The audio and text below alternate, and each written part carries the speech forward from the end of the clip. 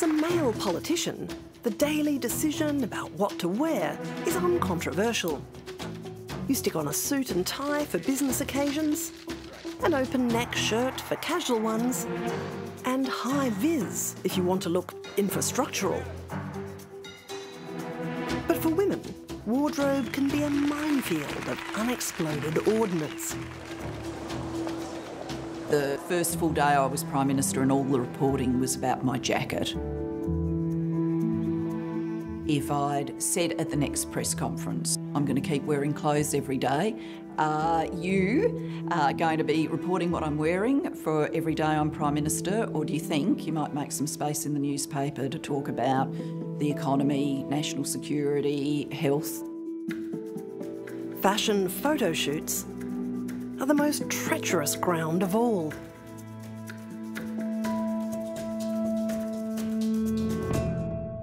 The feather boa, that's, oh gosh, that's an iconic thing, isn't it? Nobody believes that there's a backstory to this, which is at the very end of what would have been a normal traditional photo shoot, Deborah Hutton said, Oh, look, we just had this second outfit made. Um, it's um, all the rage overseas at the moment. It's fin de siècle in Paris. She said, Could you just pop it on for a few shots? And of course, ever obliging me stepped into it and didn't see that, um, didn't for the life of me think that it was going to end up on the front page of the tabloids. We think clothes say something about a woman and her character. So if I use terminology like she's a bit of a tart, you would be able to imagine the wardrobe that she wears. Um, if I said to you um, she's constantly dishevelled, you'd make a set of judgments about her.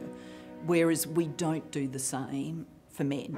So Boris Johnson can be constantly appearing with his hair everywhere and his shirt untucked, and that's dismissed as, you know, posh eccentricity. Whereas if a woman did it, it would be like, what the? You know, she's trying to be Prime Minister of the nation, she can't even tuck her blouse in. Like, what's going on with this?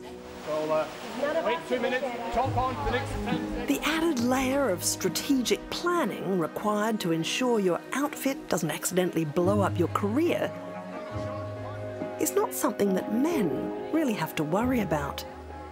That's not to say they don't have opinions. The day I was appointed Minister for Ageing, I got a phone call from a senior member of the Prime Minister's staff who said, Congratulations, Julie. Now I'd like you to dress more appropriately. And I looked down at my suit and my court shoes and I thought, This is inappropriate. And he said, Get rid of the corporate look, no more Armani. I want you to dress like a Minister for Ageing.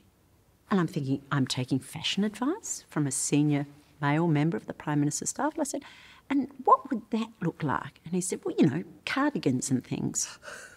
And I thought, well, that's interesting. So I tried it for a while. I tried this kind of new look that I thought was how a Minister for Ageing should appear. It didn't last long. Amongst the hate mail I receive are uh, fashion tips from blokes. Really? Yeah, yeah. Wear a expletive dress. I wonder what he's wearing while he's typing that. Do you reckon he's Dressing gown. tracky dacks? Possibly. Possibly Uggies. Something comfy. Something coming. Listen, you. that's, that's pretty funny. I think, why do you care?